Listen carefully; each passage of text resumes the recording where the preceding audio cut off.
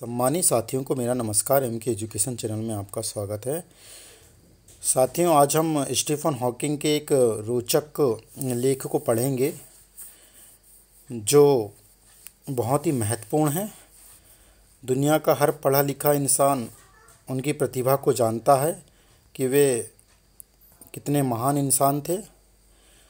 आइए साथियों, शुरू करते हैं। क्यों स्टीफन हॉकिंग ने लिखा ना कोई भगवान होता है और ना ही किस्मत। मशहूर भौतिकी विज्ञानी और अंतरिक्ष विशेषज्ञ स्टीफन हॉकिंग की ज़िंदगी का बड़ा हिस्सा व्हील चेयर पर बीता तब भी वे वो दुनिया को अपनी कई प्र, बड़ी प्र, खोज दे गए। उन्होंने अपनी आखिरी किताब में ये क्यों लिखा कि कोई भगवान नहीं होगा और ना कोई किस्मत। साथ ही बहुत ही महत्वपूर्ण लेख है। भगवान कहीं नहीं है, किसी ने दुनिया नहीं बनाई और कोई हमारी किस्मत नहीं लिखता।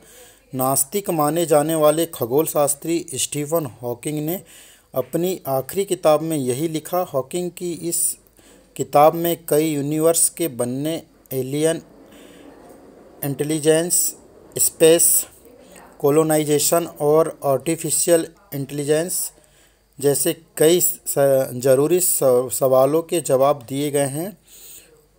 उन्होंने अपनी आखिरी किताब में भगवान के अस्तित्व को मानने से इनकार कर दिया।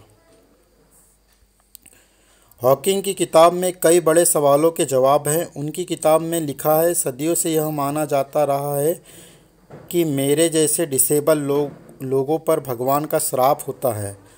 लेकिन मेरा मानना है कि मैं कुछ लोगों को निराश करूँगा, लेकिन मैं यह सोचना ज़्यादा पसंद करूँगा कि हर चीज़ की व्याख्या दूसरे तरीके से की जा सकती है। क्या वहाँ भगवान हैं? वैसे हॉकिंग की इस किताब का नाम ही है क्या वहाँ भगवान हैं? हॉकिंग ने लिखा, मेरी भविष्यवाणी है कि इस, हम इस सेंचुरी के ख़त्म होते होते भगवान के दिमाग को समझने लगेंगे। यह मेरा मानना है कि भगवान नहीं है, किसी ने यूनिवर्स नहीं बनाया, ना ही कोई हमारी किस्मत चलाता है। स्टीफन हॉकिंग ने 80 के दशक से आखिर से साफ़ तौर पे ये कहना शुरू कर दिया कि भगवान का कोई अस्तित्व नहीं होता। वो अपनी बातें तर्क के आधार पर रखते थे। अपनी आखिरी किताब में तो उन्होंने इस बार इस पर खुलकर लिखा, क्या मरने के बाद जीवन है? वह आगे लिखते हैं कि, इससे मुझे इस बात का पूरा एहसास है कि ना कोई स्वर्ग है, ना ही मरने के बाद कोई जीवन है। मेरा मानना है कि मरने के बाद जीवन है। यह सोचना सिर्फ़ अपना खुशनुमा विचार हो सकता है। इसके लिए कोई भरोसेमंद साक्ष्य नहीं है। हॉकिंग की मौत के बाद उनके एस्टेंट ने प्रोजेक्ट पूरा करके किताब पब्लिश करने का फैसला लिया। दुनिया भर में लोगों के दिलों में जगह बनाई। स्टीवन हॉकिंग ऐसे वैज्ञानिक हैं जिन्होंने आधुनिक दुनिया में ईश्वर की सत्ता को नकार दिया। अल्बर्ट आइंस्टीन के बाद स्टीफन हॉकिंग ही एक वैज्ञानिक के तौर पर दुनिया भर में लोगों के दिलों में अपनी जगह बना पाए। 21 वर्ष की उम्र में उन्हें मोटर न्यूरॉन नाम की बीमारी हुई। ऐसा लग रहा था कि वे अपनी पीएचडी नहीं कर पाएँगे, लेकिन सभी कयासों को गलत साबित कर वो पचपन साल तक जिए। स्टीफन हॉकिंग को हमेशा लगता रहा कि उन्होंने जो कुछ मिला वो उनकी विकलांगता के चलते मिला। हालाँकि उन्होंने अंतरिक्ष को लेकर कई अहम थ्योरीज दी और हमारी धारणाओं को तोड़ा। 14 मार्च 2018 को स्टीफन हॉकिंग का निधन हो गया। वो ब्रिटेन के ऑक्सफोर्ड में 8 जनवरी 1942 को जन्मे थे। उनके पिता एक चिकित्सा विज्ञानी थे, जबकि माँ दर्शन शास्त्र की स्नातक। स्टीफन हॉकिंग ने लंदन के पास स्थित संत अल्बास स्कूल में शुरुआती पढ़ाई की। ऑक्सफोर्ड यूनिवर्सिटी से भौतिकी में प्रथम श्रेणी की डिग्री हासिल की।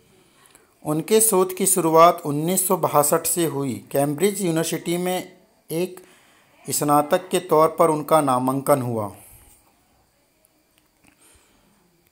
आइए और इनके बारे में हम महत्वपूर्ण तथ्यों को जानते हैं। अस्सी के दशक से भगवान के अस्तित्व पर सवाल उठाना शुरू किया। अस्सी के दशक के आखिर में उन्होंने भगवान के अस्तित्व पर सवाल उठाया, लेकिन यह सही है कि हॉकिंग की बातों को दुनिया ने कभी नहीं नकारा। उनकी किताबों की बिकने की गारंटी हमेशा रहती थी।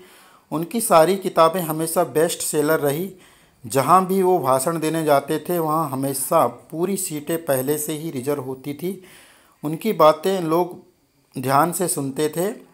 हॉकिंग को हमेशा अपनी सफलताओं पर संदेह होता था। हालाँकि उनको हमेशा लगता था कि उन्हें जो कुछ मिला वो उनकी योग्यता से नहीं, बल्कि उनकी विकलांगता की वजह से मिला। वो हमेशा कहते थे कि लोग उनके, उन्हें, उनके काम की वजह से याद करें। अंतरिक्ष पर हमारी धारणाओं को बदला। हो सकता है कि हॉकिंग हमारे समय से महान साइंटिस्ट नहीं रहे हों, लेकिन वो बहुत, महत्वपूर्ण भौतिकी विज्ञानी ज़रूर थे, जिन्होंने अंतरिक्ष के बारे में हमारी बहुत सी धारणाओं को तोड़ा और साइंस के आधार पर नई थ्योरीज बताई। तो साथियों, ये था एक महत्वपूर्ण लेख, एक महान वैज्ञानिक का।